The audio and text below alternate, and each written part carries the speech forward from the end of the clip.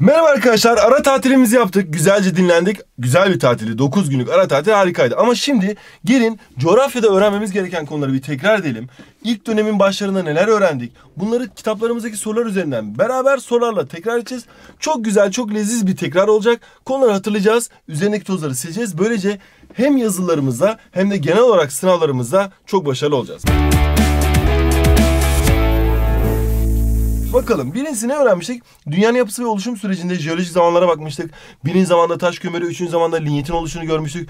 Dördüncü zamanda ise artık yeryüzünün tam anlamıyla oturduğunu görmüştük. Levha tekniğinde esasında böyle Kuzey Amerika kıtası, Güney Amerika kıtası, Afrika kıtası değil de temelinde levhaların üzerinde hareket ettiğimizi öğrenmiştik. Ve levha sınırlarının esasında tektonik hareketlerinin olduğunu, deprem alanları olduğunu, fay hatları olduğunu, volkanik araziler olduğunu öğrenmiştik. Dünyanın tektonik oluşumuna baktığımızda en başta bir Pangea vardı. Sonra Pangea birbirinden ayrılıyordu. Hatta bak bu kıta bunun içine tam oturuyor. Lego gibi birbirini yerleştiriyor. Puzzle gibi birbirini yerleştiriyor demiştik. Bunlar yerin e, iç kısmıyla alakalı. Tabi bir de siyal ve sima vardı ki siyal karaların altında kalındı. Sima ise okyanusların altında kalındı. Okyanusal kabuk. Kayaç döngüsüne baktığımızda magmatik kayaçlarla başlıyor ilk başta. Yerin altındaki mağma Yerin, yeryüzüne ulaşırsa dış püskürük, yerin derinliklerine soğursa iç püskürük oluyordu. Sonra bunlar zamanla çukur alanlarda birikerekten canlı kalıntıları ya da fiziksel kırıntılar veyahut da kimyasal şeyler, kimyasal tortul, organik tortul ve tabii ki de e, mekanik tortulları oluşturuyorlardı. Daha sonrası bunlar yüksek sıcaklık ve basınç altında mesela granit iç püskürük olan granit gneiß'a dönüşüyordu. Veyahut da kimyasal tortul olan kalker e, e, mermere dönüşüyordu. Bütün bunların değişimleri başkalaşım kayaçların özelliği. Sonra bunlar da eriyip tekrar mağmaya giriyorlardı. Biz buna kayaç döngüsü diyorduk.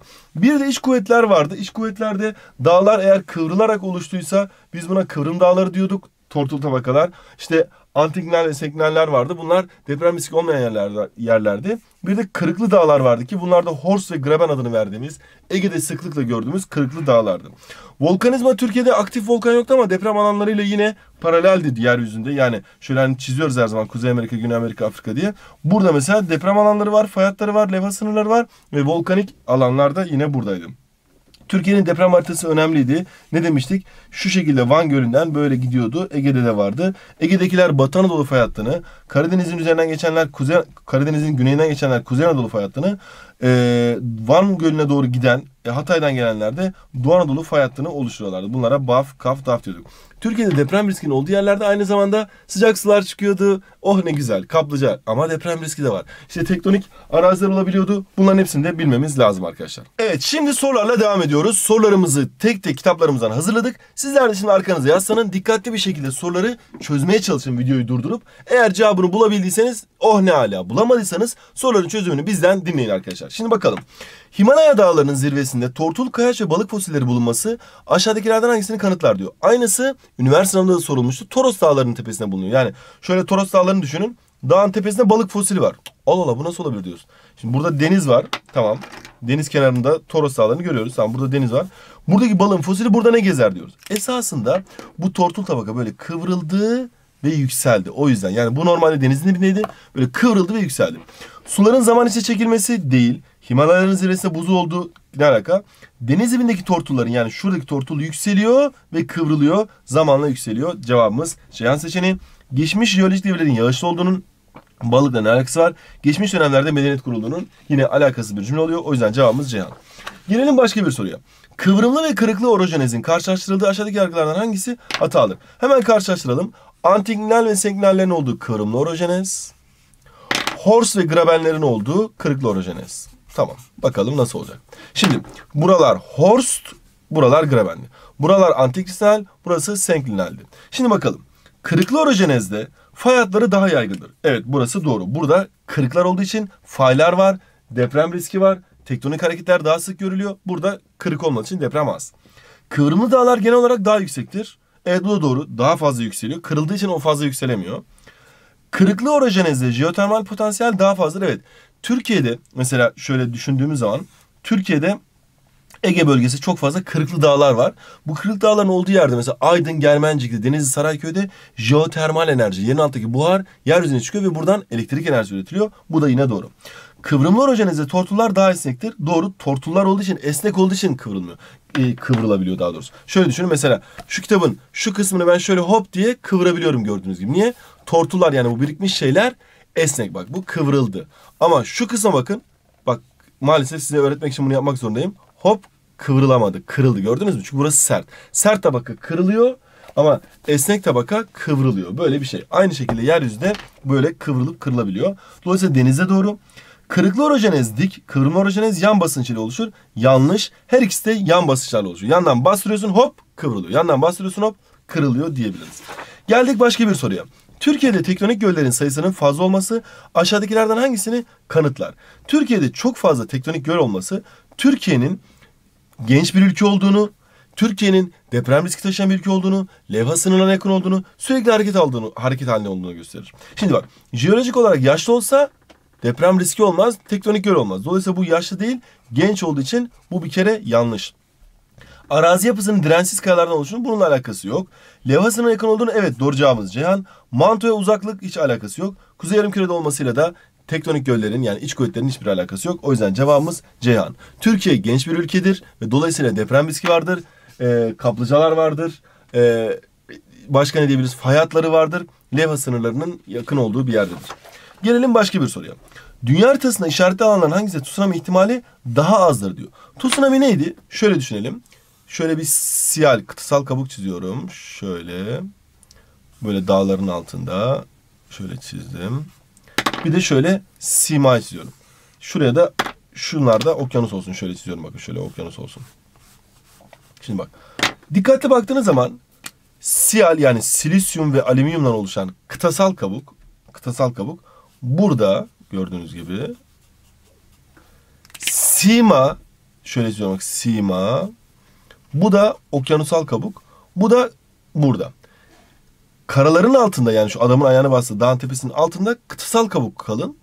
Okyanusların altında ise okyanusal kabuk yani sima kalın. Bazen bu siyal azalıyor. Buradan manto simanın arasından geçip yeryüzüne ulaşıyor. Ve burada volkan patlıyor. Bu volkan patladıktan sonra burada dalgalar oluşuyor. Sen burada hiçbir şeyden haberin yok. Dalgalar geliyor, geliyor, geliyor, geliyor, geliyor, geliyor. Seni sular altta bırakıyor. İşte biz buna tsunami diyoruz. Tsunami bu tarz büyük bir olay e, okyanuslarda olabiliyor.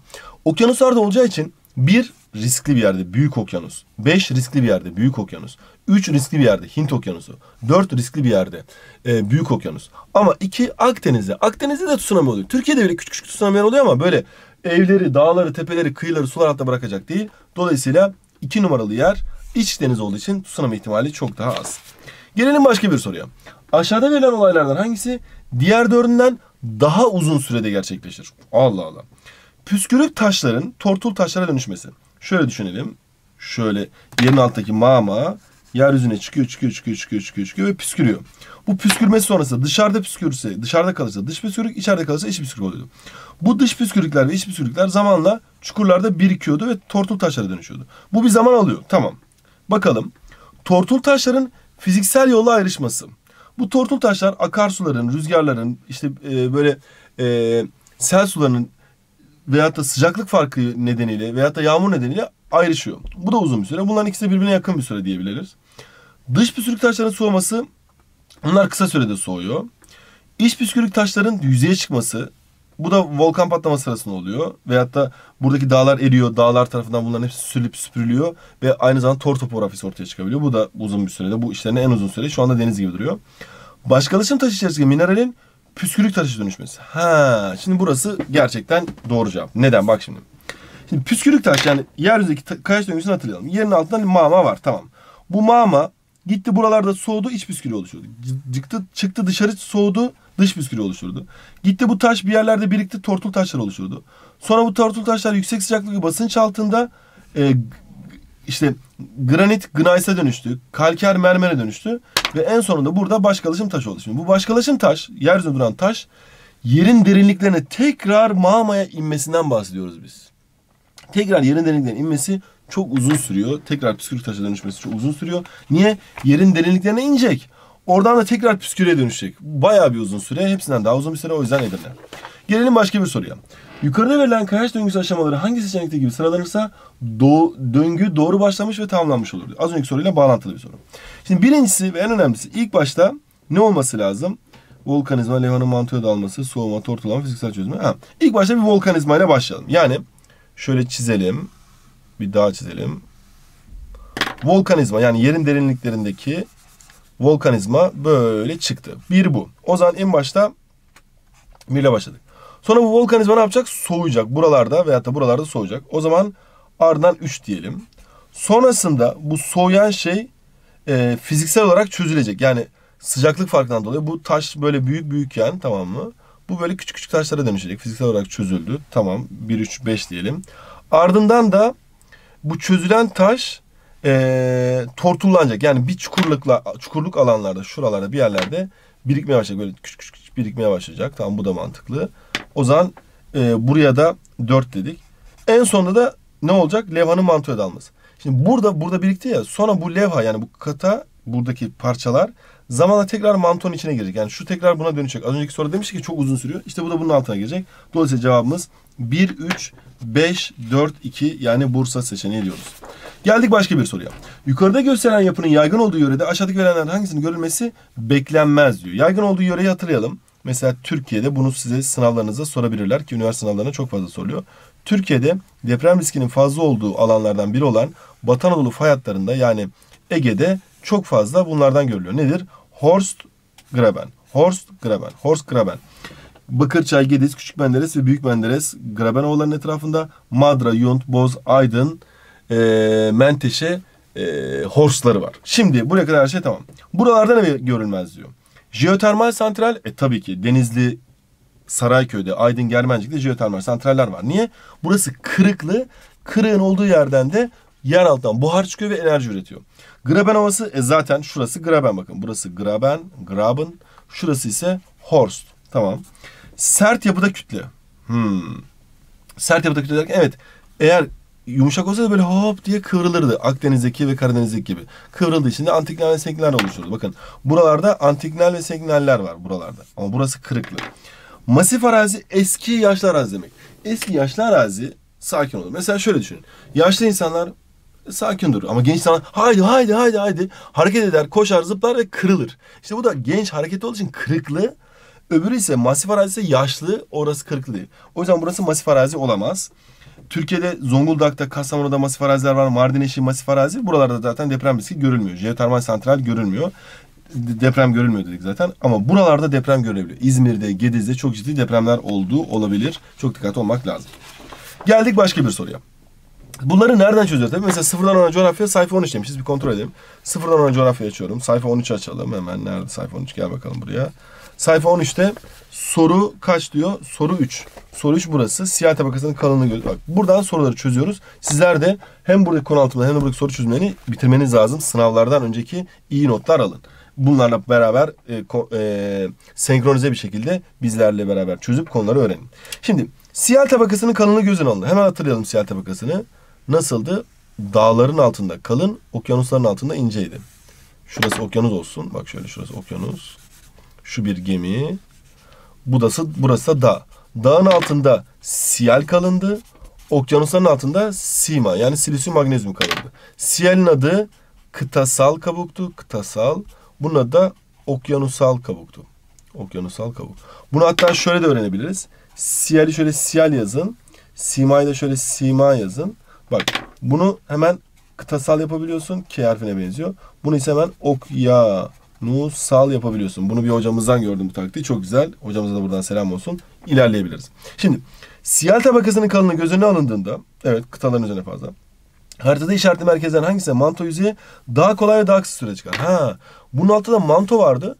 Manto yani astronosfer burası yeryüzünün hareket halindeki yeriydi. Buradan böyle çıkıp inceldiği yerde hop diye ne yapacaktı? E, tsunami başlatabiliyordu. O zaman biz okyanus bulmamız lazım. Okyanusların altında olabiliyor. Siyel dağların altında buralarda hep kalın. Ama okyanusların altında ince olduğu için cevabımız Adana seçeneği olmuş oluyor. Geldik yeni bir soruya. Haritada gösterildiği gibi Türkiye'de deprem riski fazla yerlerin yaygın olması hangi özelliğinden kaynaklanmaktadır? Bakın buralar ölü sayısı binlerce insan vefat etmiş. 30 bin, 30 bin, 30 bin. Türkiye'nin deprem haritası. Hatta Türkiye'nin deprem haritasını nasıl çiziyorduk biz? Burada bir kez daha gösterelim. Siz de buradaki okları yani buradaki büyük yeşilleri bulursanız zaten siz de görebilirsiniz. Ama ben bir kez daha şöyle çizmek istiyorum. Şöyle gösterelim. Hemen. Bakın. Şöyle bakın. Şuradan şöyle bir kalınlık var. Şöyle kalınlaşıyor ve şuralar kalın. Aynı şey var. Van Gölü'ne geliyorsun. Böyle gidiyorsun ve Ege bölgesi. Burası Kuzey Anadolu fay hattıydı. Burası Doğu Anadolu fay hattıydı. Burası da Batı Anadolu fay hattıydı. Şimdi Türkiye'de deprem riski fazla yerlerin yaygın olması neyden kaynaklanıyordu? Masif kütlelerin fazla olması skandal. Masif kütle yaşlı kütle demek. Deprem riski olmayan kütle demek. Beyaz yerler, Mardin eşiği, Kastamonu, Taşeli platosu buralar masif kütle.